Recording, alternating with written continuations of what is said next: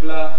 And if you see, Lamso is a noun, social noun class language. If you see the data on the board, you will see that the, the, the noun for, for bird is kikun, okay? And the plural of that, of bed, is bikun, okay? So we have kiwo for hand, and viwo for hand, and kibam for back, and vibam for back. So if you want to change from singular to plural, you just take ki to v. And then there is another class that has shinun for bird, for bird, and then minun for bird. And you continue like that. So if, if for that class, if you want to change from plural, from singular to plural, you just change the she to men. Now, look at the problem this, this, this kind of uh, this kind of language is called. This is probably what is generally referred to as an agreement-based grammar. And so if you have a, you remember our shinun for bird, so if you want to say, this bird is mine, you will say something like, shinun shin, she the shape. So you have this agreement that spills, that spills across birds.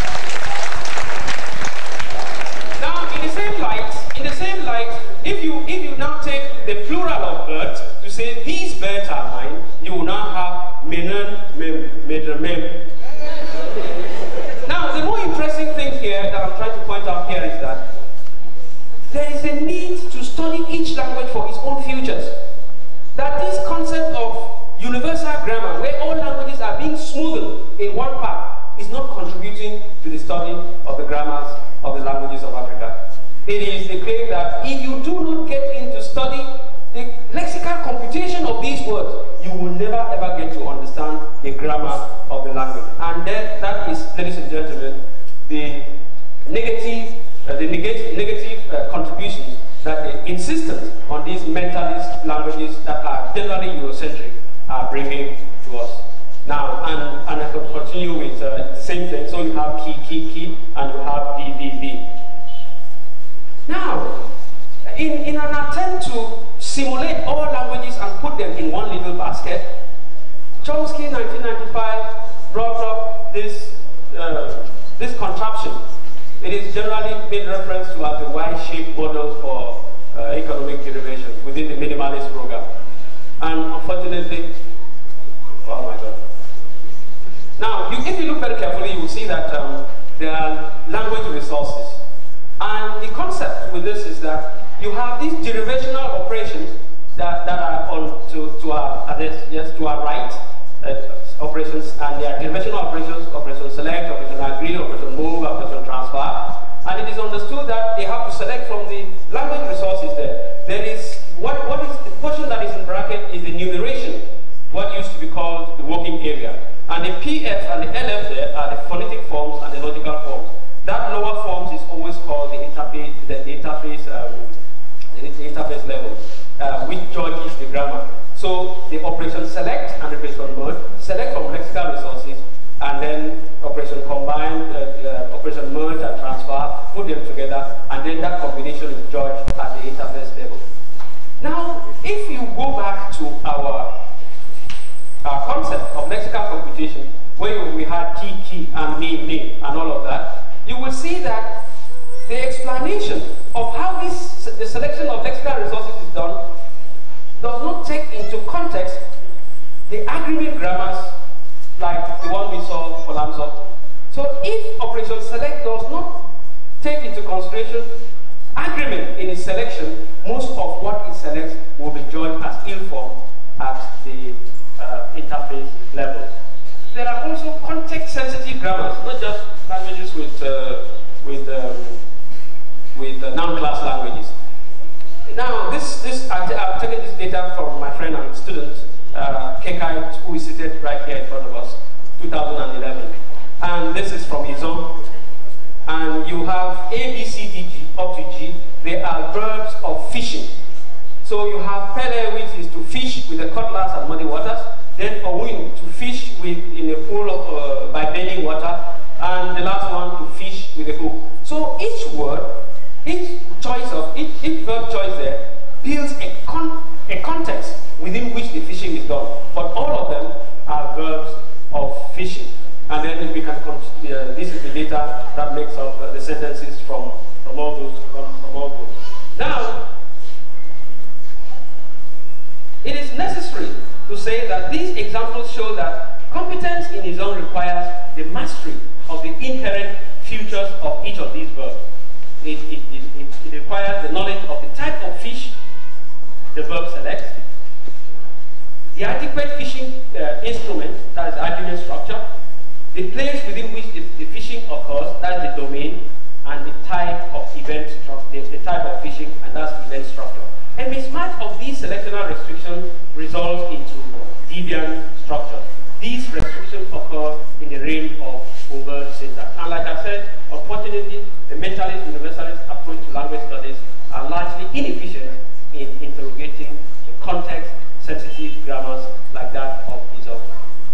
Now we turn to the second part of this lecture, which probably will be more interesting and less technical. Now, uh, cognition and optimal output. In simplistic, in simplistic terms, cognition is furtherance of human activity through the application of thought and experience. It is the information of knowledge. It is the formation of knowledge, the activation of reasoning and working memory towards problem evaluation and problem, problem solving and decision making. Cognitive science has been studied from different perspectives like neuroscience, psychiatry, systemic logic, computer science, and linguistics. Part of the assumption of mentalism is that the language knowledge is something in the brain of the speaker. That thought has been conceived as inner speech, while speech is said to be outer thought. The link between thought and speech has led scholars to investigate the appropriate transfer of inner speech as outer thought. Some of the questions that have propelled this research are generally, why are normal children, why are normal children able to fully acquire language at the age of six and yet spend a lifetime in cognition? Why are stutras, what you call stammerers, unable to speak fluently and yet they are able to sing effortlessly? And why are people judged as intelligent or dull? civilized or primitive, educated or uneducated, only after having listened to them speak a few sentences. And lastly, what is the link between what we say and what we know? At independence, African leaders inherited a colonial system set up to run in European languages for the benefit of Europeans. Africans have failed to re-examine this system and recalibrated to serve the people of independent, independent Africa. The burning language question for most multilingual African nations been the failure to make informed decisions about which indigenous languages should be elevated as official languages, national languages, regional languages, etc. These languages have been seen as a source of national disintegration and consistently treated with contempt.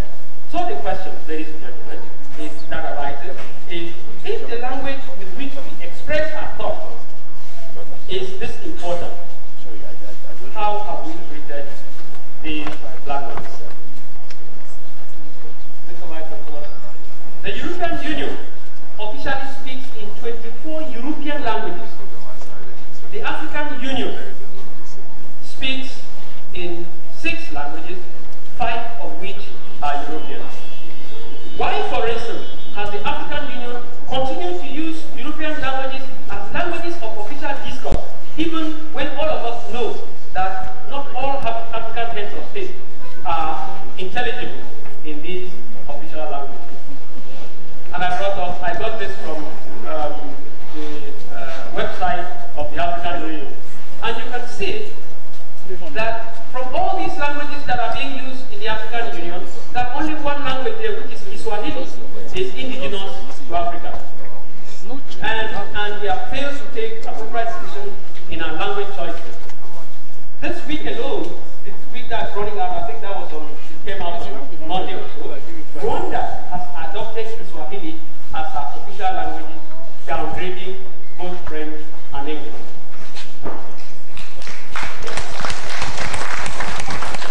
And for those of you who know, who know, who know what the French has meant to Africa, who have studied a little bit of history, uh, the French uh, language 14 uh, former colonial powers, colonial uh, territories in Africa, and they have eventually dragged down all each and each and every one of these colonies. And uh, if you know the, this 1958 uh, agreement of uh, the continuation of colonization, okay, which um, has terrible clauses, I invite you to check it out and look particularly at clause 6 at how the Africans under the French have elected to uh, eternally slave uh, themselves. So the ignorant view that African languages are inadequate for education, science, and abstract thought, and it is for this reason that children are not being encouraged to speak African languages. Another big problem for Africa and African languages, especially linguists, has been the of problems. Sometimes we are not interpreting our problem correctly.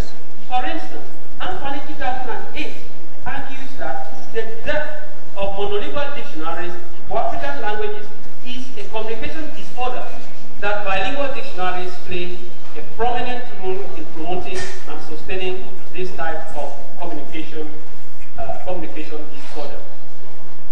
Yuka and, and 2011 examined Anthony's exciting claim and note that one, that the lexicon of any language is an open is open and expands as the physical and emotional experiences of the speakers develop. Two, that no human human being can possibly internalize a complete lexicon of any language. And three, that lexical depth is the end onset of language that generally triggered by relevant acquisition. And finally, that dictionaries are more a means of language documentation and preservation rather than an enhancement tool for language acquisition. Mr. Vice Chancellor, there have also been faulty statistics. Uneme, and for those of us who know, understand the language, languages, especially of the uh, area, Uneme is a heritage language of an identically named people dispersed across northern part of Edo State, in Nigeria. It is a region commonly referred to as Idono. Ethnologue, on the other hand, is a host of up-to-date up information about all the languages 2016, I stumbled on Ethnologue's claim that the language status of Uneme was six was categorized as 6A, which means that it was bigger. I had reasons to doubt this categorization, given my familiarity with the languages of the Edo uh, area. Yuka and Biogeny 2017 investigated lexical attrition and language shift among the Uneme through questionnaires, word piece identification, storytelling tasks, and observations made in the field, and from our analysis, we revealed the following. That lexical attrition is patterned in relation to the location and generation of speakers, with a decline of lexical skills, lexical access, retrieval and production being the most severe among the younger generation of the Uneme in the diaspora. We also noted that the decline was evident generation of Uneme diaspora and in the, than in the younger uh, speakers resident in the local territories. And again, there was also little evidence for lexical attrition in the older generation of speakers resident in the localities back at Kunemi. Language shift pattern primarily in relation with the generation of speakers, the older speakers exhibiting a higher preference for the language in communication domain than the younger speakers who have generally replaced Kunemi with English as the language of choice in communicative context, except with the parents.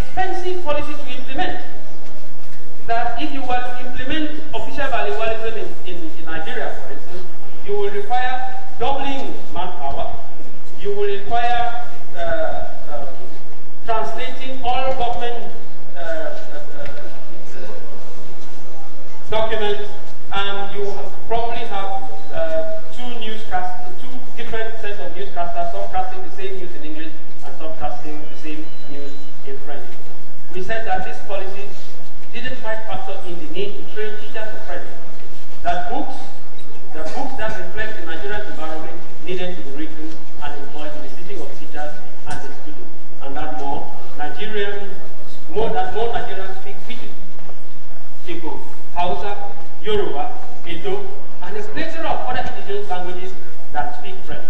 At that time, we wondered why General Abacha had to take this faulty, policy, faulty, policy, faulty, faulty shape. You know,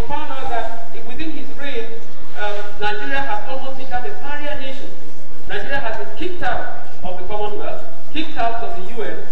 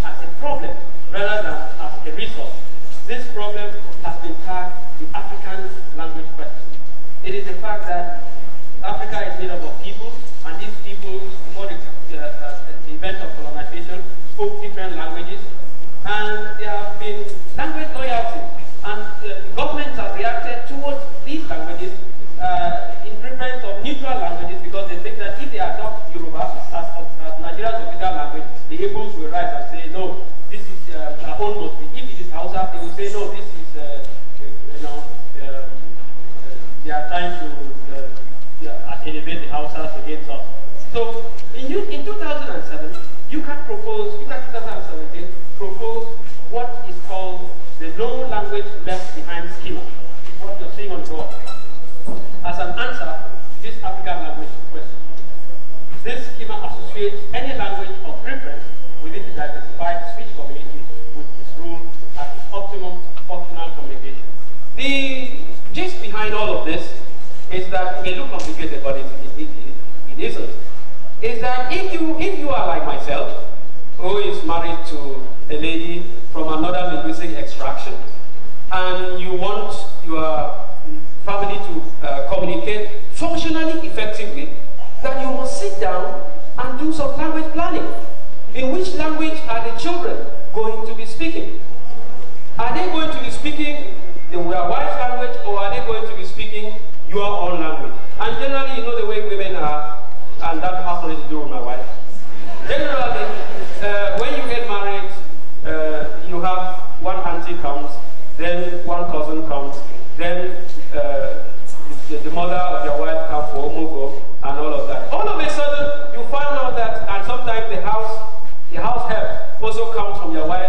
instruction. And I encourage that for family harmony. You know, and uh, if you are a very smart person, you will know that the functional language in that house must be the language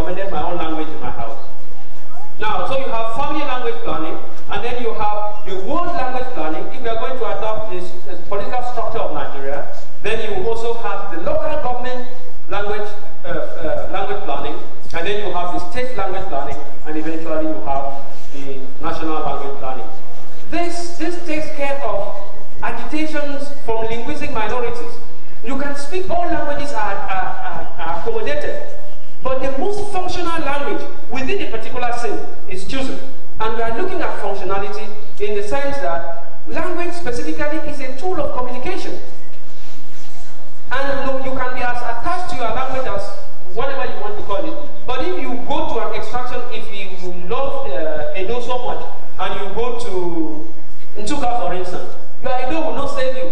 You will have to, feel you have to function, you will have to use the language that can buy you tatashe in the market and buy a pound of yam and buy something in the restaurant. So language is a tool of communication and we should stop these linguistic affiliations. Now, Mr. Vice Chancellor, advances in technology have shrunk our world demographically. Our world is more connected today than it was 20 years ago. Money, information and images now instantly travel through the globe. Technology-driven economies have brought unprecedented wealth to those who have seized the moment. Currently, Google Tra translates in 57 languages, which is not even 1% of the world's languages. 18 of these languages are Indo-European languages, and none is African. We cannot stand by, Mr. Vice Chancellor, and simply watch the world change as onlookers would in a fight between strangers we have the responsibility to shape the world of our dreams. Our worldview is defined by our viewing position. Our languages and our cultures influence that worldview. When we abandon the languages in which we dream and do business in alien, in languages alien to our culture and worldview, our languages in which our competence is approximate, our endeavor in the development of our institutions, construct, and social process tends to fall short of their appropriate length. In this life, Yuka and Onyeka forthcoming have, have, have started a test project to digitize street names in Erode local government area of Edo State.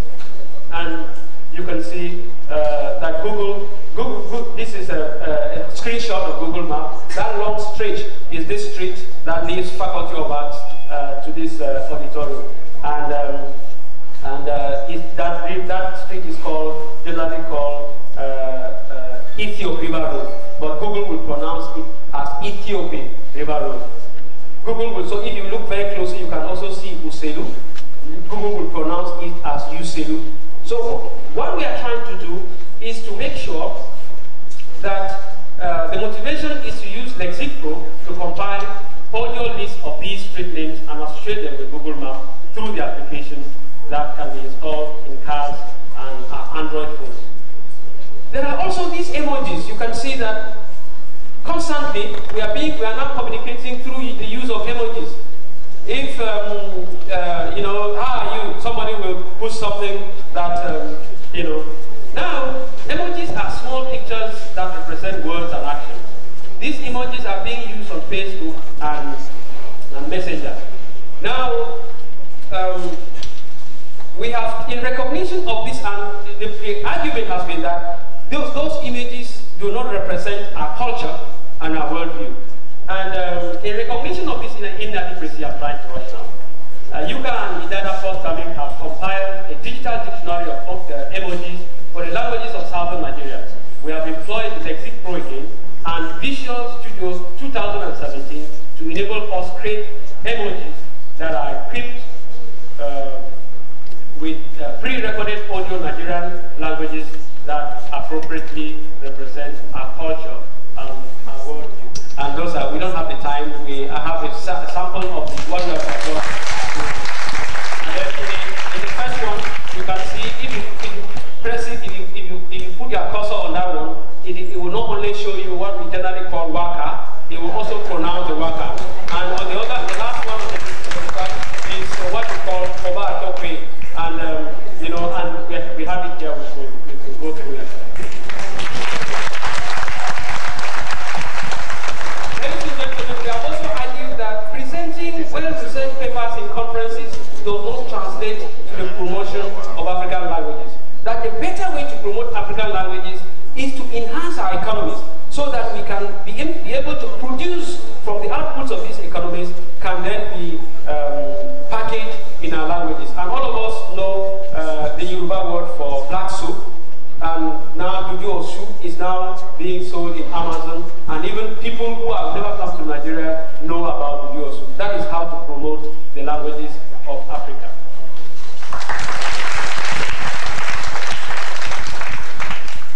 Mr. Vice Chancellor, the linguistic situation in Cameroon is perhaps one of the most complex in Africa. The country officially speaks in French, English, and has 283 languages spoken within its national territory. And there exists a very vibrant pidgin that serves as a lingua franca. The British Cameroon has been agitating against, if you look at the map, you will see uh, what used to be the, the British Cameroons, what is now being called Ambazonia, they speak English. But that little part has been agitating uh, against marginalization by the bigger French Cameroon for 57 years now. In October 2016, these agitations metamorphosed into street protests. The brutal response from the government of Yaoundé led to the deaths of plenty of civilians. A hitherto call for the respect of English territories, of English traditions and cultures has now spiraled into a bitter conflict between the restorationists demanding for the independence of the state of uh, southern Cameroon and the Republican forces fighting to keep Cameroon one. As I speak to you from this podium, a very bitter genocidal war is raging in southern Cameroon. The United Nations High Commission on Refugees estimates that over 3,000 southern Cameroon, Cameroonians are incarcerated in different prisons and detention camps within the, the national territory. That more than 2,000 people have been killed, 437,000 people uh, and over 70,000 Cameroonians are battling for survival in refugee camps in Cross River, Benue, Taraba State in Nigeria. There is a scorched earth policy that has led to the burning of entire villages, schools and hospitals within southern Cameroon. Shops, businesses and the economy of livelihood of southern Cameroon has been literally destroyed.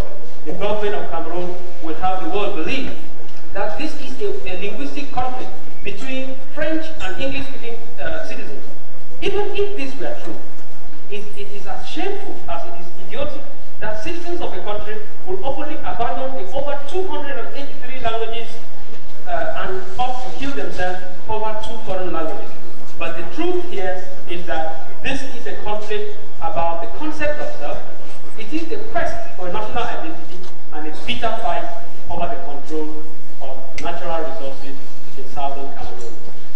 My thesis here is that English and French-speaking Cameroonians do not hate themselves.